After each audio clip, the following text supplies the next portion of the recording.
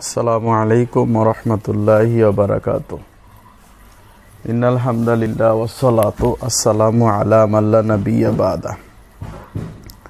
নবী মোহাম্মদ রসুল্লাহ সাল আলী ওয়াসাল্লামের নবদ পরবর্তী মৌজিজাগুলো ধারাবাহিকভাবে আলোচনা করব ইনশাআল্লাহ। তে পর্যায়ে আবু জাহাল সেই ব্যক্তি যে ব্যক্তি রসুল্লাহ সাল আলী ওয়াসাল্লামকে প্রথম দিকে যখন থেকে নামাজ পড়তে দেখলে, তখন থেকে নামাজ হতে নিবৃত করার চেষ্টা চালাতে থাকে।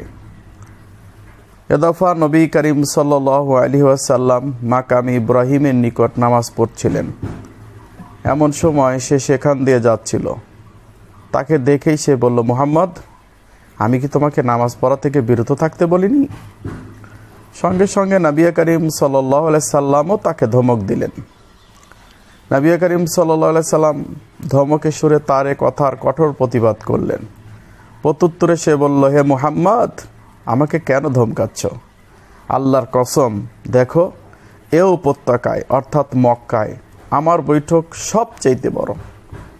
তার উক্তির প্রেক্ষিতে আল্লাহ সুবাহান আহমাত অবতীর্ণ করেন ফালিয়া দিয়া। আলাক ছিয়ানব্বই নম্বর সুরা সতেরো নম্বর আয়াত। কাজেই সে তার সভাসদদেরকে ডাকুক, তার লোকবলকে ডাকুক। এক বর্ণনায় রয়েছে যে রসল্লাহ সাল্লাহ সাল্লাম জামার বুকের অংশ ধরে জোরে হ্যাসকায় এক টান দিলেন এবং এই আয়তে কারিমা পাঠ করলেন, আউলা লাকাফা আউলা আউলা লাকাফা আউলা দুর্ভোগ তোমার জন্য দুর্ভোগ। তারপর তোমার জন্য দুর্ভোগের উপর দুর্ভোগ। আল কিয়ামা পঁচাত্তর নম্বর সোরার চৌত্রিশ, পঁয়ত্রিশ নম্বর আয়াত। এরই পরিপ্রেক্ষিতে আল্লাহর সেই শত্রু বলতে লাগল, হে মোহাম্মদ, তুমি আমাকে ধমক দিচ্ছ? আল্লাহর কসম, তুমিও তোমার প্রতিপালক আমার কিছুই করতে পারবে না।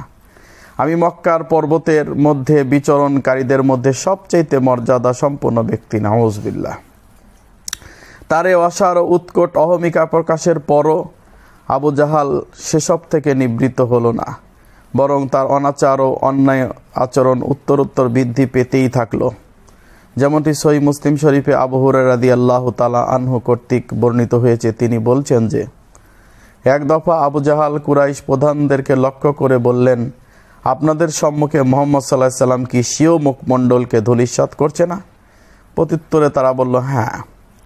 এরপর সে আস্পালন করে বলল, লাত উজ্জার কসম যদি আমি তাকে পুনরায় সেই অবস্থায়, অর্থাৎ নামাজরত অবস্থায় দেখি, তাহলে গ্রীবা পদতলে পিষ্ট করে ফেলব এবং মুখমণ্ডল মাটির সঙ্গে আচ্ছা করে ঘর্ষণ দিয়ে মজা দেখিয়ে দিব।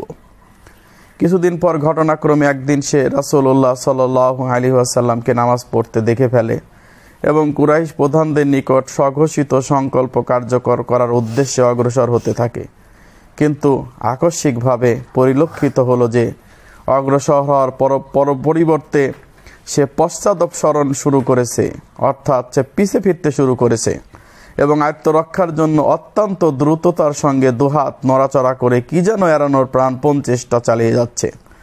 উপস্থিত লোকজন জিজ্ঞাসা করল হে আবুল হাকাম মানে আবু জাহালের নাম, তোমার কি এমন হলো যে তুমি অমন ধারা ব্যস্ততায় লিপ্ত হয়ে পড়লে?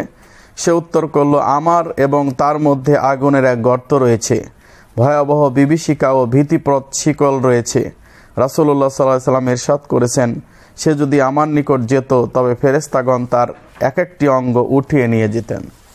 সুবাহান আল্লাহ এরকম আরও বহু মজেজা সম্পর্কে আলোচনা করবে ইনশাআল্লাহ। আমাদের চ্যানেলের সঙ্গেই থাকুন সিরাতে মুস্তাকিম। সাবস্ক্রাইব করে আমাদের সঙ্গেই থাকুন।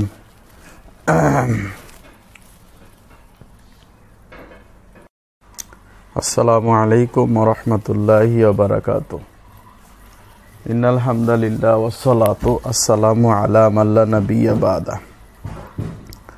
নবী মোহাম্মদ রসুল্লাহ সাল আলী ওয়াসাল্লামের নবদ পরবর্তী মৌজিজাগুলো ধারাবাহিকভাবে আলোচনা করব ইনশাআল্লাহ। তে পর্যায়ে আবু জাহাল সেই ব্যক্তি যে ব্যক্তি রসুল্লাহ সাল আলী ওয়াসাল্লামকে প্রথম দিকে যখন থেকে নামাজ পড়তে দেখলে, তখন থেকে নামাজ হতে নিবৃত করার চেষ্টা চালাতে থাকে। এদফা নবী করিম সাল আলী ওয়াসাল্লাম মাকাম ইব্রাহিমের নিকট নামাজ পড়ছিলেন। এমন সময় সে সেখান দিয়ে যাচ্ছিল। তাকে দেখেই সে বলল, মোহাম্মদ, আমি কি তোমাকে নামাজ পড়া থেকে বিরত থাকতে বলিনি? সঙ্গে সঙ্গে নাবিয়া করিম সাল্লাহ সাল্লামও তাকে ধমক দিলেন। নাবিয়া করিম সাল্লাহ সাল্লাম ধমকে সুরে তার এ কথার কঠোর প্রতিবাদ করলেন। প্রত্যুত্তরে সে বলল, হে মুহাম্মদ, আমাকে কেন ধমকাচ্ছ? আল্লাহর কসম, দেখো, এ উপত্যকায়, অর্থাৎ মক্কায়, আমার বৈঠক সবচাইতে বড়। তার উক্তির প্রেক্ষিতে আল্লাহ সুবাহান আহমা তালাইয়াত অবতীর্ণ করেন ফালিয়াদা দিয়া। আলাক ছিয়ানব্বই নম্বর সুরা সতেরো নম্বর আয়াত। কাজেই সে তার সভাসদদেরকে ডাকুক, তার লোকবলকে ডাকুক। এক বর্ণনায় রয়েছে যে, রাসলুল্লাহ সাল্লাহ সাল্লাম জামার বুকের অংশ ধরে জোরে হ্যাসকায় এক টান দিলেন এবং এই আয়তে কারিমা পাঠ করলেন, আউলা লাকাফা আউলা আউলা লাকাফা আউলা দুর্ভোগ তোমার জন্য দুর্ভোগ। তারপর তোমার জন্য দুর্ভোগের উপর দুর্ভোগ। আল কিয়ামা পঁচাত্তর নম্বর সুরার চৌত্রিশ, পঁয়ত্রিশ নম্বর আয়াত। এরই পরিপ্রেক্ষিতে আল্লাহ সেই শত্রু বলতে লাগল, হে মোহাম্মদ, তুমি আমাকে ধমক দিচ্ছ? আল্লাহর কসম, তুমিও তোমার প্রতিপালক আমার কিছুই করতে পারবে না। আমি মক্কার পর্বতের মধ্যে বিচরণকারীদের মধ্যে সবচাইতে মর্যাদা সম্পন্ন ব্যক্তি, নাউজবিল্লাহ। তারে অসার উৎকট অহমিকা প্রকাশের পরও আবু জাহাল সেসব থেকে নিবৃত্ত হলো না, বরং তার অনাচার ও অন্যায় আচরণ উত্তরোত্তর বৃদ্ধি পেতেই থাকল।